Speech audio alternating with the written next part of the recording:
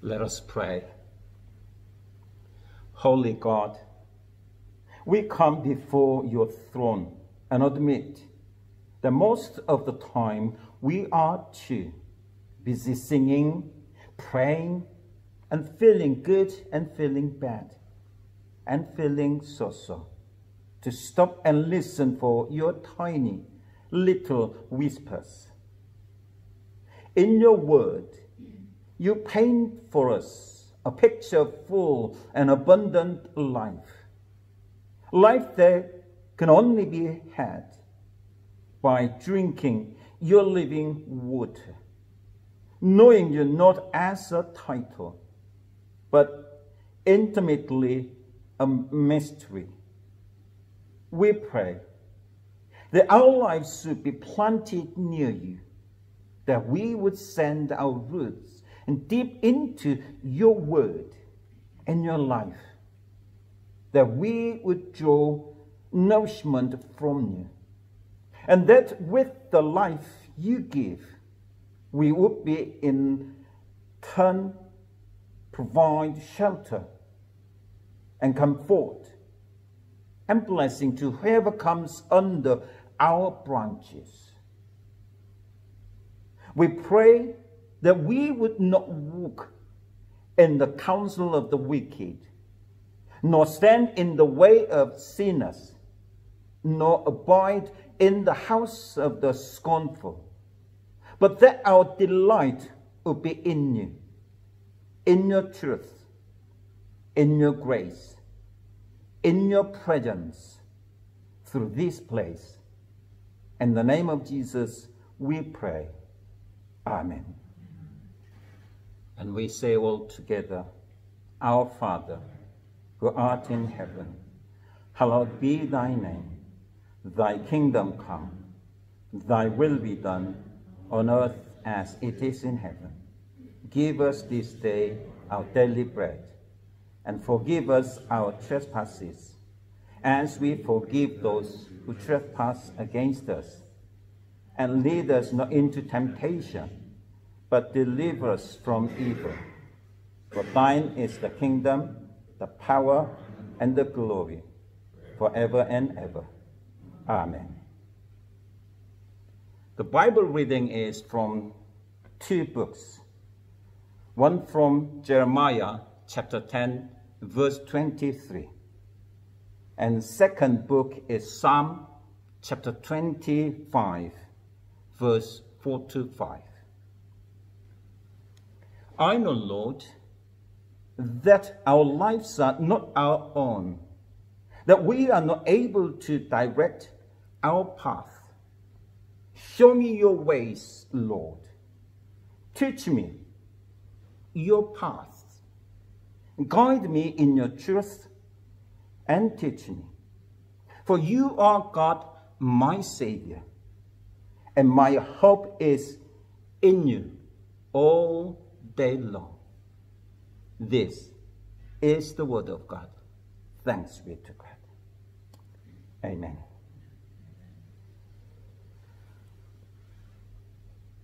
On 28th in April, year 2013, in north, no, no, east north, Sunderland, there was a, uh, what is the marathon competition? There was uh, over 5,000 competitions. Now, they run and run each other a long way. And there was a few groups. And one of group, the leading group, was ahead of others. And suddenly, one man within that leading group, his name is Mark Hood. He run ahead of all other leading groups, far, far away. And then there was a big gap. At the end, Mark Hood cut the final, what you call the final line, and got the, uh, the prize, the winner. Now, the trouble is there was a second, what you call a run-up? Yeah, run-up and third and fourth. And everybody ran the final line and got through. The thing was, far from only one, the winner, the runner-up, third, fourth, and rest of 5,000 was disqualified. How? What happened? Well, the thing was, the winner run ahead of everybody, and second, the runner-up, there was a big gap, and somehow the second runner-up lost his way. And then he got wrong way. And suddenly, third follow him, fourth follow him, fifth follow him, rest of 5,000 followed him. Even though they all arrived the final line, they all disqualified. Why? Because they cut a shortcut and that wrong way. So it is quite important, the leader, to follow someone, to listen someone, and take their advice is very, very important, isn't it? If we follow someone, who knows? All is gonna be in vain, isn't it?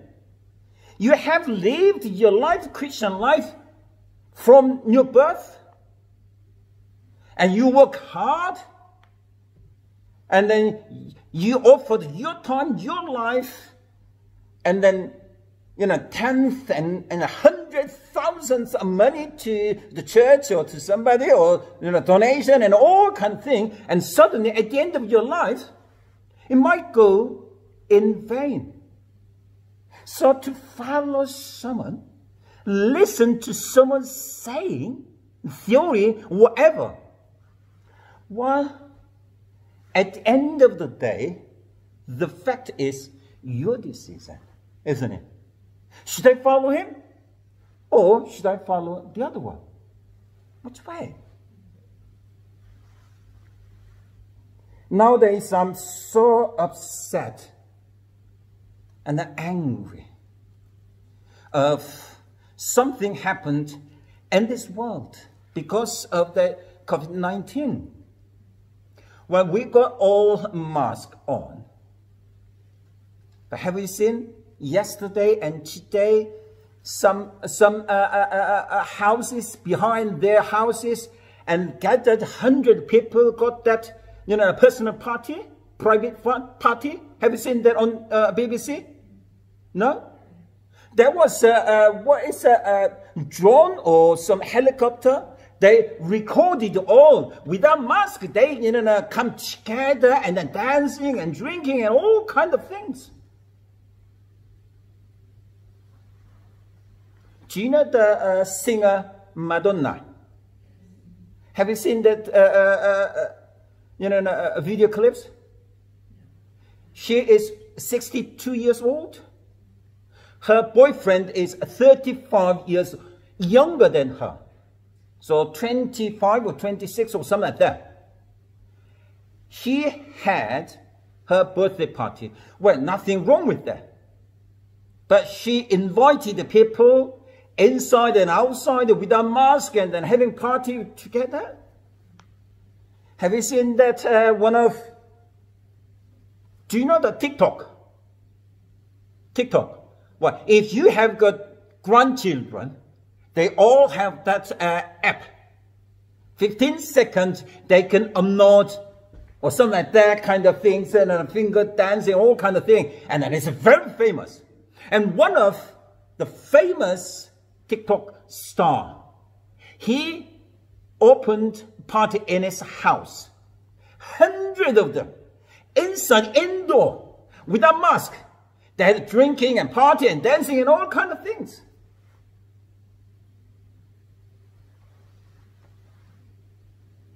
As you heard in America, hundred people with the shotguns. I'm a free man. I refuse no mosque. In Brazil, even president said masks are no use. You know, it's useless. Well, he got COVID-19. His wife also. In Japan also. In China also. Huge swimming pool. There is a music festival with all together, no mask, get together, dancing, singing, all. Even one of the best place, almost pure, you know, or, uh, and clear out of COVID-19 that Korea is now from last Saturday. It is at a second spike. Do you know why? Because one of Korean minister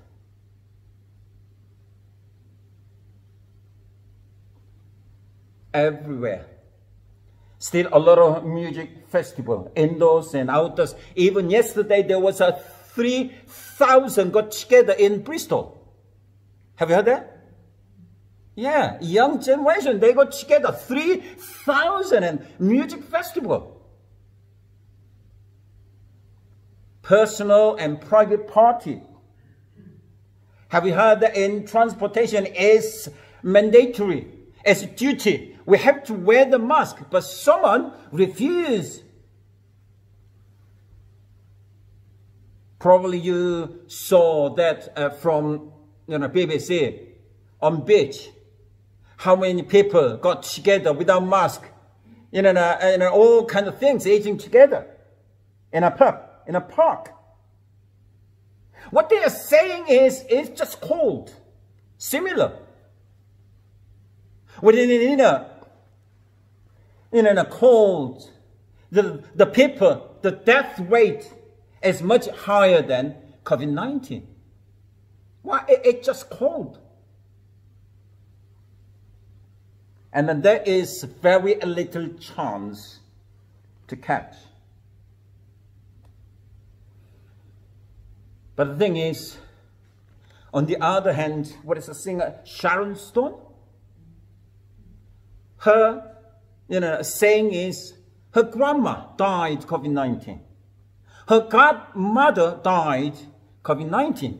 Her own sister got that. Sister and what is the, uh, uh, no, no, no, uh, brother-in-law got the COVID-19 and suffering.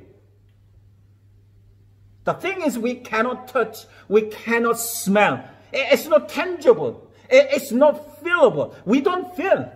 And we don't know who got that. And then say a lot of people what you call that after effect? The coronavirus, even though they, they got cured by some one man for six months still, he can't speak properly. Even he can't cook, you know, for, you know, himself. So he moved into his parents' house, living together. Lost his voice. Still got pain, fatigue, what you call a brain fog, and there all kind of you know side effects and also after effects.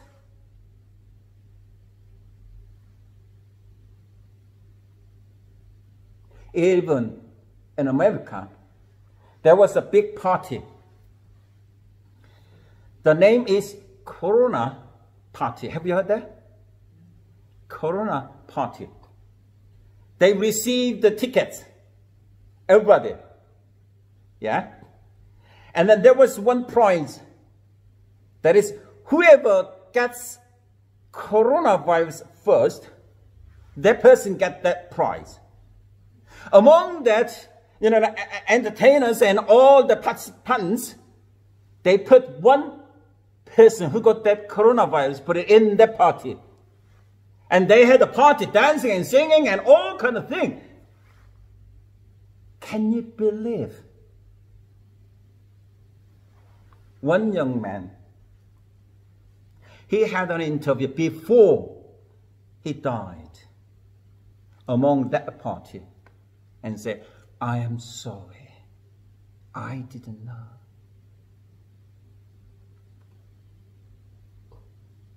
Long, long times ago, when my wife Sarah used to drive, one day she uh, was guiding you know, four or five other Korean ministers' cars.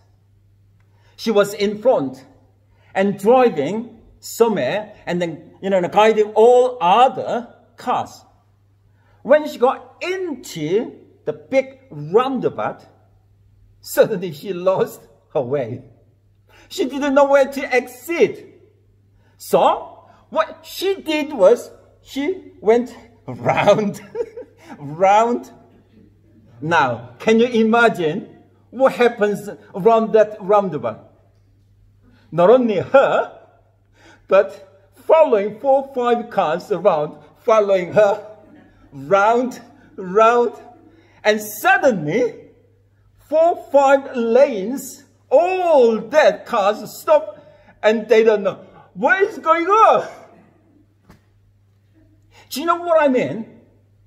If someone got in, stuck, a wrong way to guide our ways, new ways, what are you gonna do? That's why in the Bible today, our life is not ours. Do you think so? But nowadays, young generation and a lot of people say, wow, it's mine, isn't it? My life's mine. I'm going to do whatever I like, whatever it takes. A go. It's freedom, liberty. Mind your own business. I'm going to do my own. That is what they say. But Bible, the God says, our lives are not ours. And psalmists say, show me your way and guide your path. Because we don't know where to go. Teach me. But in the world, there are a lot of people say, I am right. Follow me. Follow me. What I'm saying is right. What I think is right. What my theory is right. Never wrong.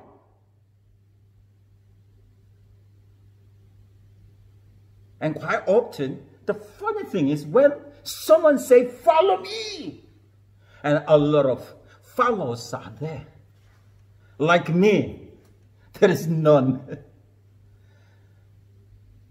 I'm in here saying not what I think, saying what my saying is right, and saying follow me. No. Reflection is not the time or not the time to say what I think. What I'm saying is, no, that is wrong. What I'm saying is, I am one of yours exactly same in yours.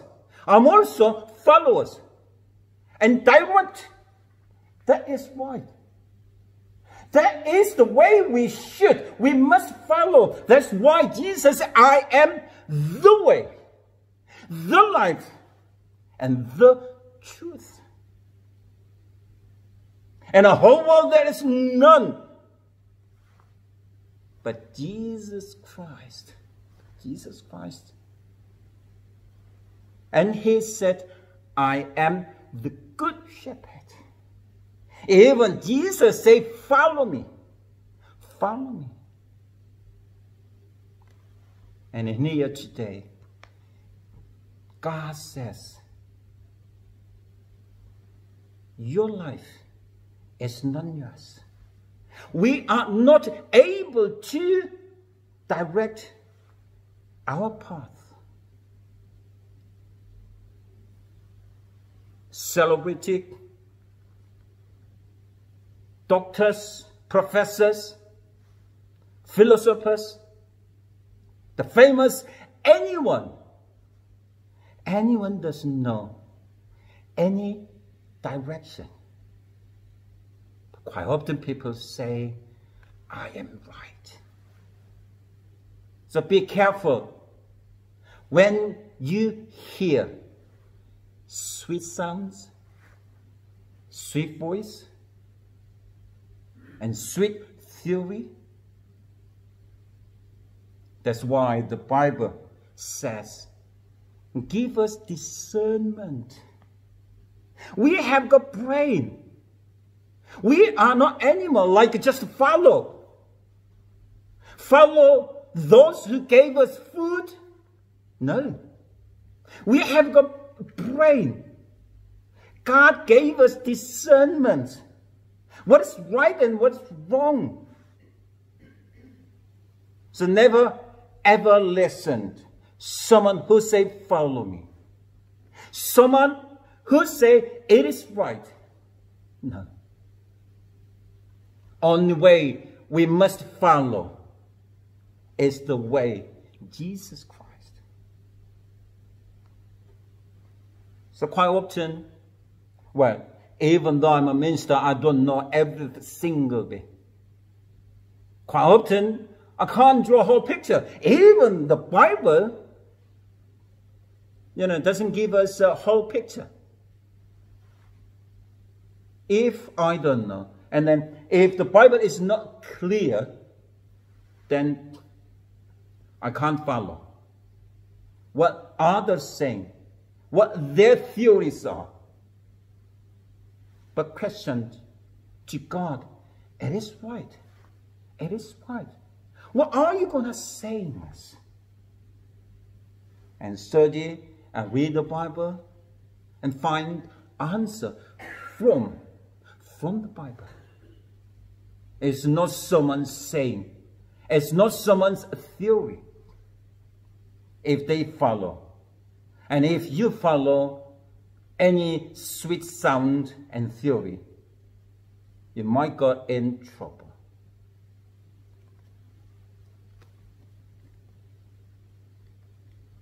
And the Bible it said, I know, Lord, that our lives, not ours, that we are not able to direct our path. Show me your ways, Lord. Teach me your path. Guide me in your truth and teach me. For you are God, my Savior, and my hope is in you all day long. Let us pray. Lord, we give thanks because we are not walk through the wide gate, but narrow gate. And we are just following you, not the person, not the ministers, or not any others, but you, our Savior Jesus Christ. But Lord, quite often, we don't know and we don't understand. But Lord, we believe you are going to give us discernment to follow you in a right way. In the name of Jesus, we pray. Amen.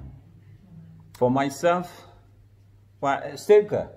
I'm still good, but I'm still young, same as any other young generation who wants to go out and playing and dancing and games and holidays. You've seen that a lot of holiday makers are trying to coming back from you know, Spain or recently, what is that, uh, uh, uh, France and all that. Okay? I'd love to go out, but rather not. And that is also, you know, uh, uh, it's stressful. Just staying at home and not much things doing. But on the other hand, I have to keep on every Sunday. So during the Sunday, well, the minister's jobs are not like repeating what I've learned and then used to that kind of things, like uh, any other jobs. But ministers are creative jobs. I have to create every Sunday new sermons and reflections. Someone said, over three, uh, three years old sermon, you know, now we can use, reuse again. The funny thing is, sometimes people doesn't remember even last Sunday what I said, but sometimes people, even five years old, what I said, remembering that, oh, James, you did five years ago. So that, so, well, as soon as I finish this sermon back home, and then, you know, have dinner, and then straight away in my mind, what I'm gonna do next sermon. that is my all day in here. While even while I'm away for holiday, sit in, you know, it's in here, that kind of things. Uh, but apart from that, keeping well, Sarah is still doing quite well. Still not 100%, especially morning. The, the guest comes to her every morning. And then I said, hey, get rid of him. But she said she can't. It's, uh, it, it, you know, just coming in and then stay two or three hours and then go away. And then afternoon, she feels better or something like that. But rather than that, that's all okay. So let us pray. Loving God, you are our creator and sustainer. When you open your hand, you satisfy the hunger and thirst of every living thing. And so we look to you whenever we are in need, trusting in your love and your abundant goodness. As you once fed the hungry crowds with five loaves and two fish, we ask that you'd again fill those who are empty this day. Pour out your spirit on all who hunger and thirst. We pray for those who are physically hungry, whose stomachs are empty. We think especially of the people in Somalia, Eastern Africa, in refugee camp, in flooded area, who are facing critical food shortages. We pray for those who are empty emotionally, who are lonely and long for companionship and love, who are caught in the grip of depression or overwhelmed with grief. We pray for those who are spiritually empty, who are troubled but don't know where to turn, who long for purpose and meaning but don't know where to look. We pray for those who need your healing power, who need strength, recovery, and cure. Especially we pray for Doggy and Kath, Palm and Ray, Mark and Lucy, Matthew and Mary, Gordon and Anne, Brenda, Anita, Vera, Joan and Jim, June, Barbara, Sonia and Mike, Karen Patrick, Trisha and Sons, Win, Diane and Ken, Robert, Betty, and for all those known to us who are in special need of our prayers.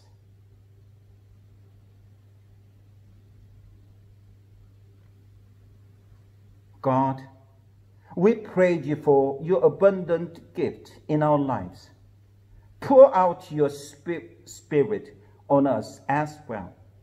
Fill us with your compassion and love so that we would willingly share some of our abundance with those who have need. In the name of Jesus we pray. Amen. Let us pray. As you go from here into this week ahead, with whatever joys and challenges it holds, Do not be discouraged or disheartened, but remember who is our hope and who is the person we need to follow. And may the peace of God, the blessing of Jesus Christ, and the presence of the Holy Spirit be with us now and forever. Amen.